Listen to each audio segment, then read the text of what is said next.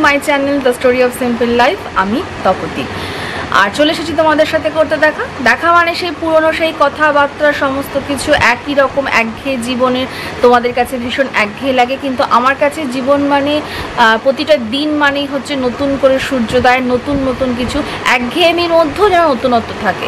কালকে যে দিনটাতে যা ছিল ছিল, আজকে হয়তো সেটা কিছু নেই বা আবার নতুন করে কিছু পাওয়ার কিছু আছে বা নতুন করে কিছু চলে যাবে দিন জীবন থেকে বা দিনটা থেকে। যাই হোক একটা করে দিন যখন আসছে, নতুন করে দিন, নতুন করে জীবন। আমি এইভাবে সবসময়তেই এটাকে ভাবি। আর এই পজিটিভ ভাবনাটা সবসময় আমি চাই সব মানুষের মধ্যে থাকুক। তাহলে দেখবে জীবনটা কখনো একঘেয়ে হয়ে যাবে না, আর কোনো কিছু একঘেয়ে মনে হবে না। তো শুরুতেই অনেক বক বক করে নিচ্ছি। আজকাল তো বক বক বেশি করা হয় না, সেজন্যই বক বক করলাম। যারা দেখছ আমার চ্যানেলটা, তারা অবশ্যই করবে সাবস্ক্রাইব সাবস্ক্রাইব বাটনটা প্রেস করবে প্রেস করলে বেল আইকন আসে। বেল আইকনে অল বলে যে অপশন আসে, সেটা প্রেস করবে, তাহলেই আমার চ্যানেলটা দেখতে পাবে। আর যারা আমার বন্ধু, যারা আমার বন্ধু হবে, যারা দেখছ আমার চ্যানেল সবাই ভীষণ ভীষণ ভালো আছো। এটাই এই আশা করি এবং এই আশাটা নিয়েই আমি সবসময় ব্লগগুলো শুরু করি। আজকে হচ্ছে কি বলে আজকে? মঙ্গলবার। আর আজকে থেকে আমার মেয়ের এক্সাম শুরু হয়ে গেল।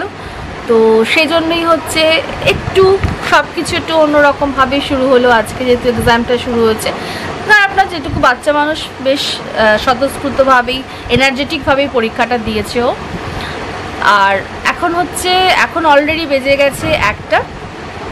স্নান টান করানোর পরে মা রান্না বান্না করে গেছে, আর আমি গিয়ে জাস্ট একটা ডিম, টমেটো দিয়ে ডিমের একটা কারি মতন করেছি, শুধু টমেটো দিয়ে করে এসেছি। তো সেটা আর মেয়েকে নিয়ে একটুখানি বসে বসেছিলাম পড়াতে, কারণ বাচ্চা মানুষ তো একসঙ্গে বেশিক্ষণ সময় ওকে পড়ানো যায় না। আর পরীক্ষার আগে যেটা আমার সব সময় মনে হতো আমি সমস্ত সিলেবাসগুলো মানে রিভিশন দেওয়ার চেষ্টা করতাম। সেজন্য মেয়ের ক্ষেত্রেও সেটা করি যা যা আছে সেগুলো ওকে পড়ানোর চেষ্টা করি। আর ও তো এক ঘণ্টার বেশি পড়তে পারে না বাচ্চা মানুষ ছুটি করে জন্য ওকে বারে বারে একটু একটু করে পড়ায়। যেন বারে বারে বাচ্চাদের একটু একটু করে খাওয়ায় আমি সেরকম বারে বারে একটু একটু আহ, যথারীতি আমার সেই দক্ষিণে জানলাতেই বসে আমি ওকে পড়াচ্ছি। এইখানটাতেই বসে দাঁড়া তোমায় দেখাচ্ছি। আমি সেই দক্ষিণের জানলার কথাটা বলতাম না, সবসময়তে বলেছি অনেকবার তোমাদের, সেই দক্ষিণের জানলা দিয়ে এরকম রাস্তা, এরকম গাছগাছালি দেখা যায়। এই যে কিছুটা যে কাঁচা মাটির রাস্তাটা, এটা আমাদের জমি, সেজন্য কাঁচা মাটি আর ওই দিকেটা রাস্তা, ওই জন্য ঢালাই রাস্তা হয়ে গেছে। আর গাছ গাছালি আম গাছ আম গাছ আছে, দেবদারু গাছ পেঁপে গাছ, এ দেখো সুপুরি গাছ, অনেক রকম গাছ। জানলা দিয়ে দেখাচ্ছি তো, ওই জন্য অনেক রকম গাছ। নিচে নেমে দেখালে পর আরও ভালো হতো। তাই আমি নিচে এখন নামছি না বলে জানলা দিয়ে দেখাচ্ছি।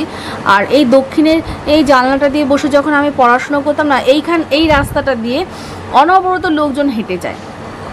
অনবরত লোকজন হেঁটে যায়। আর এই রাস্তাটা দেখলে পরেই না আমার শরৎচন্দ্রের যে পুরনো মানে পল্লী সমাজের যে, পল্লী সমাজ বলো না সরি মানে পল্লী রাস্তার যে বর্ণনাটার সাথে আমি খুব মিল খুঁজে পাই। আসলে আমি ভাবুক প্রকৃতির তো ভাবতে বেশি ভালোবাসি। তো আর এই রাস্তাটা, এই এই জানলাটার ধারে বসেই আমি হচ্ছে পড়তাম, যখন একঘেয়ে লাগতো, তখন এই দিকে তাকাতাম। বেশি সবুজ সবুজ এই সমস্ত দেখলে আমার মনটা বেশ ভালো লাগে। মনটা একটু অন্যরকম হয়ে যায়। বললাম না তোমার ভাবুক প্রকৃতির। কবিতা লিখতাম, যখন স্ক্রিপ্ট লিখতাম। দেখো, কেউ না কেউ এখান থেকে যাতায়াত করবে। আমি বকবক করছি তো, মেয়েটা উল্টে দেখছে কে বকবক করছে বসে বসে। আর এইদিকে এইদিকে এটা হচ্ছে মুন্নাদাদের পাঁচিল। আর এই এই দিকে যে বাড়ির জমি, বাড়িটা হচ্ছে, দেখা যাচ্ছে না, দেখাতে পাচ্ছি না, যে জমির বাড়িটা হচ্ছে, ওটা রিসেন্ট ওটা বিক্রি করেছে, একজন এসে বসতি করেছে। তো এই জানলাটার সাথে আমার সত্যি মানে অনেক পুরনো স্মৃতি জড়িয়ে আছে। আর মেয়েকেও ওখানে বসে আমি পড়ায় যখন এসেছি, মেয়েকে পড়াচ্ছিলাম বলেই আর ওই জানলাটা তোমাদের দেখাতে পারলাম এখানে বসে। অনেক বকবক করা হয়ে গেছে। এবার যাই। কারণ হচ্ছে একটা পনেরো বেজে গেছে, মেয়েকে খাওয়াবো। দেখো হাওয়া দিলে কত সুন্দর লাগে দেখতে জায়গাটা। মেয়ের খাবার বাড়তে এসেছি। এসে দেখছি কি যে কি মনে হলো, নিচে গেলাম যে ফ্রিজের মধ্যে কোনো চাটনি টাটনি আছে কিনা, খাব টাবো। একটুখানি ঝাল ঝাল চাটনি খোয়াটা টাটনি খেতে পারব না তো কারণ একটু সুগার ফ্রিজটা খুলে দেখি কি ডিপ ফ্রিজের মধ্যে মাছের মাথা একদম ভাজা রয়েছে। এই দেখো, বের করে নিয়ে এসেছি এখানে। তো মাছের মাথাটা ভাজা রয়েছে। এবার কি করব টুকবো তাহলে মাছের মাথা? তাহলে ভাবলাম তাহলে মাছের মাথাটা খাওয়া হচ্ছে না। এতদিন ফ্রিজে রেখে খাওয়াটা ঠিক না আজকেই খেয়ে নেব। টুকলুকে বললাম, তাহলে তুই মেয়েকে খাওয়া? তাহলে আমি মাছের মাথাটা চচ্চড়ি করে ফেলি। আর সো মাছের মাথা চচ্চড়ি খেতে খুব ভালো লাগে। তো চলো, কি করে মাছের মাথা চচ্চড়ি করতে হয় সেটা তোমাদেরকে দেখাই। মাছের মাথার যে চচ্চড়ি বা ফোড়ন চচ্চড়ি যেটা বলে, তো হচ্ছে এটা খেস খেতে ভালোই লাগে। আর যখন মানে মাছের মাথা, এরকম ছোট ছোট মাছের মাথা বা বড় মাছের মাথা রয়ে গেছে, মাছ খাওয়া হয়ে গেছে, মাছের মাথাটা কি করা হবে, বাসি মাছের মাথা, তখন এই রান্নাটা করে নিতে পারো। তা মাছের ফোড়ন চচ্চড়ির জন্য যেটা আমার লাগবে, এখানে আমি নিয়ে নিয়েছি, আমার এরকম মাছের মাথা ছিল, ঘরে অনেক দিনের জন্য ফ্রিজে ছিল, দুটো মাছের মাথা নিয়েছি। এখানে একটা পেঁয়াজ কুচি এরকমভাবে কুচি নিয়েছি, একটা টমেটো কুচি। আর এখানে আছে তোমার ফোড়নের জন্য নিয়ে রেখেছি আমি একটুখানি হাফ চামচেরও কম পাঁচ ফোড়ন আর হচ্ছে অর্ধেকটা শুকনো লঙ্কা। আর আর রান্নায় দেবো হচ্ছে আমি এখানে হলুদ হলুদ গুঁড়ো হলুদ গুঁড়ো, লঙ্কার গুঁড়ো আর ধনের গুঁড়ো। আর একটুখানি হচ্ছে হাফ চামচ এই আদা বাটা আর হাফ চামচেরও কম একটু রসুন। যদি টাটকা মাছের মাথা হয় না, টাটকা মাছের মাথা যদি তুমি ফোড়ন চচ্চড়ি খেতে চাও, তাহলে রসুন বাটাটা না দিলেও চলবে। তো চলো কি করবে? এখন দেখে নাও কি করে আমি হচ্ছে মাছের মাথার চচ্চড়িটা বানাই।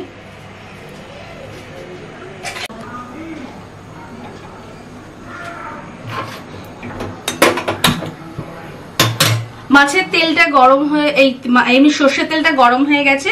এর মধ্যে আমি অর্ধেকটা শুকনো লঙ্কা অর্ধেকটা শুকনো লঙ্কা আর পাঁচ ফোড়ন দিয়ে দেবো। পাঁচ ফোড়ন ভাবছ না কেন? মাছের মধ্যে পাঁচ ফোড়ন? পাঁচ ফোড়ন দিয়ে এই ফোড়নের এই চচিটা খেয়ে দেখো, সত্যি সুন্দর লাগে খেতে। এটা এটা ম্যাক্সিমাম হচ্ছে ছোট ছোট মাছ, ছোট যে এক থেকে দেড় কিলো যে মাছগুলো বড় কাতলা না, ছোট কাতলা বা ছোট যে রুই, এক কিলোর মধ্যে যে রুই কাতলাগুলো, ওইগুলোর মাছে খুব ভালো লাগে খেতে। তো ফোড়নটা আমার হয়ে গেছে। এর মধ্যে আমি যথারীতি টমেটো আর পেঁয়াজটা দিয়ে দেবো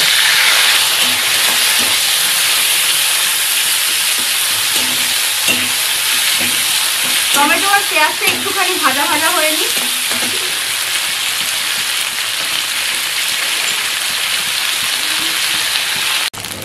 এটা দেখো, ভাজা ভাজা হয়ে গেছে। এর মধ্যে আদা, রসুনটা দিয়ে দেবো। চচ্চড়ি তো, চচ্চড়ি একটুখানি এরকমই হয়, ভাজা ভাজাই হয় চচ্চড়ি ঝোল ঝোল না আর এর মধ্যে নুন, হলুদ, লঙ্কার গুঁড়ো, এগুলো দিয়ে দিলাম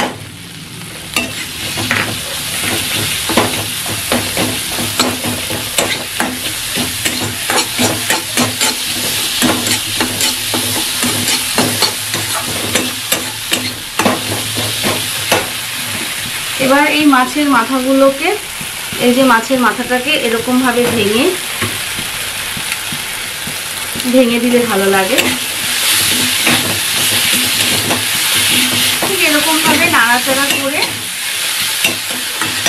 এবার এর মধ্যে একটুখানি সামান্য একটু জল দেবো, যাতে এই যে আর নুন, হলুদ টলুদ দিলাম দিলাম, এই সব জুসটুকু যেন মাছের মশলার যে জুস, যেটুকু মশলা দিয়েছি, সেই জুসটুকু যেন হচ্ছে এই মাছের মাথাটার মধ্যে ঢোকে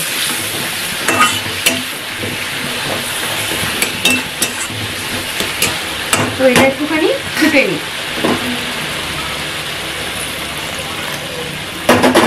ঢাকা দেওয়া থাক।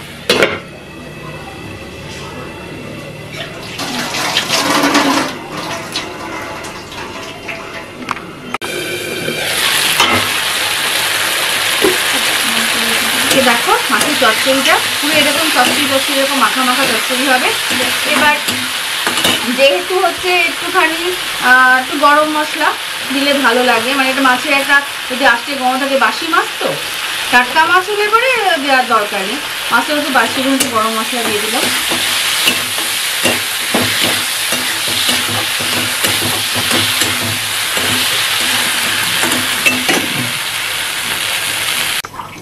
তো এই হলো মাছের মাথার ফোড়ন চচ্চড়ি। এরকম ভাবে করে খাও। গরম ভাতে। যাদের কোনো কিছু অসুবিধা নেই কোলেস্ট্রল নেই বা সুগার টুগার নেই, তারা তো এক থালা ভাত খেয়ে নেবে। আর আমার মতন যারা সুগার টু কোলেস্ট্রলের পেশেন্ট তারা একটুখানি চেকে দেখবে। ভালোই লাগবে খেতে। স্বাদটা একদম মুখে স্বাদটা ফিরে আসবে। খাওয়া দাওয়া কমপ্লিট হয়ে গেছে। আর এবার এখন একটুখানি আর মেয়ে খেয়ে উঠে মোবাইল দেখছে। আর টুবলুর একটা প্রোগ্রাম আছে, এক জায়গায় বিজয় সম্মেলনী আছে, সেজন্য টুবলু তার জন্য বাইরে নাচের প্র্যাকটিস করছে চারটে থেকে। তো আর আজকে ব্লগটা আমি এখানেই শেষ করছি। আর আবার কালকে আসব নতুন ব্লগ নতুন গপ্প। আর কোনো না কোনো রেসিপি নিয়ে আজকাল তো আবার সেই মানে নর্মাল জীবনে ফিরে এসেছি, কদিন একটুখানি মুক্ত মোনা হয়ে ঘুরছিলাম পুজো টুজো বলে। তো যাই নর্মাল জীবনে ফিরে এসেছি নর্মাল ভাবে লাইফ তো চলছে।